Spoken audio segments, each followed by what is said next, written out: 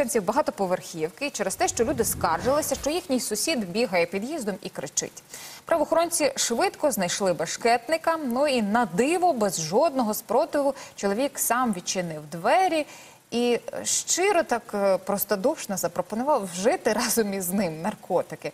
А ще господар квартири потім вирішив е, показати, де він зберігає сіль. Ну, ось такого, такого через цю неадекватну поведінку е, його затримали і відвезли в поліцію. Я всегда должен курить. И вы должны курить, потому что вы, на- это способ передачи мысли. Давайте, сидите. Ходите здесь. Вы первый, кто пришел ко мне нормально, сказывает, Камила.